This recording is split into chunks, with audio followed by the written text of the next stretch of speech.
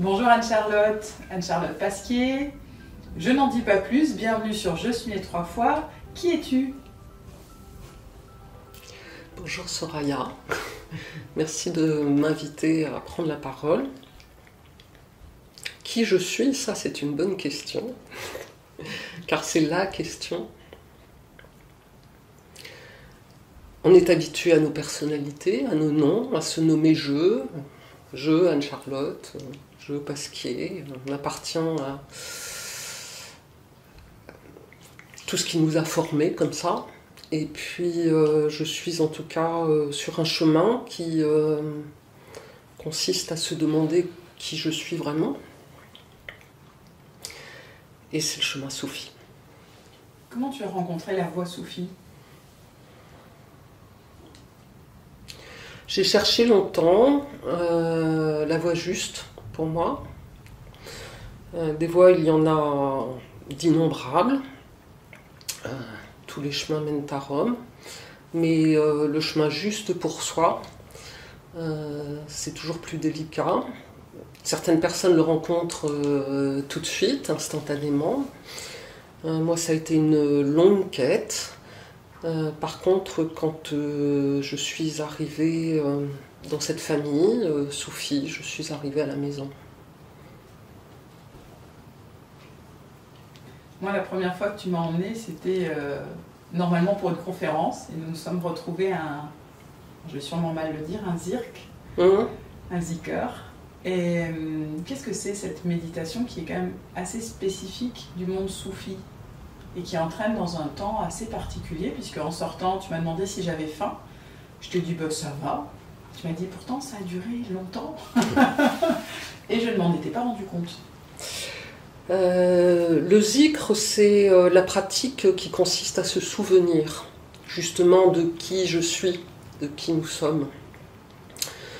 Euh, c'est-à-dire derrière nos constructions, comme je viens de l'évoquer, qui ont leur rôle et leur utilité pour fonctionner dans le monde, mais de se remettre dans, dans l'état du, souvenir de, notre lien d'âme à la conscience euh, créatrice.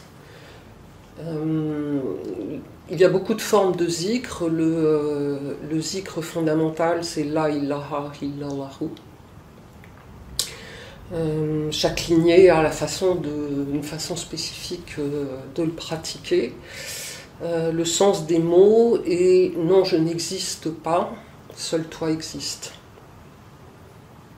C'est qui je suis c'est souvent euh, mal compris cette notion euh, de soumission dans l'islam, mais que nous retrouvons dans plusieurs autres religions, elle est souvent mal comprise. Je n'existe pas, ou cette notion de soumission, euh, certaines personnes me disent du coup il faut s'écraser. Est-ce que c'est comme ça que tu pourrais en parler, ou tu dirais autre chose? Ah ben, Le mot soumission me, surprend énormément dans la formulation de ta question. C'est une des phrases qui est dite dans l'islam mais qui est justement souvent mal comprise en fait. C'est pas pas une traduction qui est souvent euh, ça n'a rien, ça n'a rien à voir avec de la soumission, ça a plutôt à voir avec de la transparence. Mhm. En fait, c'est justement euh, rendre toutes ces constructions qui, encore une fois, ont complètement euh, leur utilité. On ne pourrait pas fonctionner dans le monde. Et le chemin soufi, c'est bien de fonctionner et dans le monde, mais pas, déconnecté du monde. Euh, contrairement à certaines autres voies mystiques qui consistent à s'éloigner du monde pour pouvoir vivre justement cette, cette reliance à plus grand que nous. Alors que le soufi va aller ensuite dans le monde, il se rappelle qui il est, elle est, et ensuite va dans le monde pour, pour le vivre, imprégner son action donc soumission, euh, absolument pas. Euh, servir, oui. Mhm. Servir, servir. Euh, il y a des noms comme Abdel Hay, par exemple, le serviteur de la vie. Mm c'est la vie. Mhm. Qu'est-ce que c'est que la vie? C'est encore une fois, c'est une manifestation de de la grande création. Du coup, ce sont des mots qui sont arabophones. Du coup, c'est une voix qui est liée à la religion islam. Mais euh, est-ce que, est -ce que ça, tu peux nous en dire plus? Parce qu'il y a beaucoup de confusion à l'heure actuelle et de, oui, je dirais, de, mélange. Alors déjà, de la confusion, il y en a parce qu'on entend parler du soufisme et c'est très difficile de comprendre ce qu'est le soufi. Il y a d'ailleurs une, blague soufie qui consiste à dire euh, demandez à dix soufis euh, qu'est-ce que le soufisme et vous aurez dix réponses différentes. Donc euh, c'est très difficile de. alors moi je, je l'explique en, en, mots simples. ça n'est ni une religion, ni un dogme, ni une philosophie. Donc à partir de là, si ça n'est pas, qu'est-ce que ça n'est pas? euh, Qu'est-ce que c'est? Euh, C'est la voix du cœur. Euh, et puis après, on peut s'interroger sur ce que c'est que, que, le cœur. Le cœur, on connaît notre cœur physique, notre cœur cardiaque dans la poitrine gauche. Pour le soufi, le cœur, c'est beaucoup plus large que ça, puisque il considère qu'il a un cœur spirituel, un cœur subtil dans la poitrine droite et un cœur central, tout ça constituant le, le, plexus, justement, ce cœur spirituel inspiré par euh, la conscience créatrice, qui vient s'incarner dans un cœur cardiaque euh, physique, et encore, le cœur est beaucoup plus que euh, simplement cette fonction qu'on lui connaît, d'abord de, nous mettre en vie physiquement, et puis la voix de, euh, l'amour, euh, la voix du cœur euh, n'est pas un sentimentalisme basique. Le cœur, c'est une centrale atomique, c'est extrêmement puissant. Donc le soufisme, c'est la voix du cœur. Asratin Ayad Khan, qui est la lignée que, que je suis, que j'étudie, en tout cas, plus que suivre, puisque c'est une étude, hein, c'est un chemin d'étude, de progression et de travail.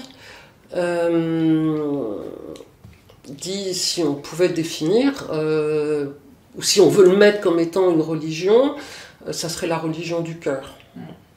Alors, euh, après, les confusions euh, viennent probablement euh, du fait qu'il y a des lignées, donc ça fonctionne contrairement aux, grandes spiritualités du livre, qui à un moment donné sont figées dans un écrit, ou viennent d'un prophète en particulier qui a arrêté un enseignement particulier. ce sont des lignées vivantes avec des maîtres qui actualisent les enseignements.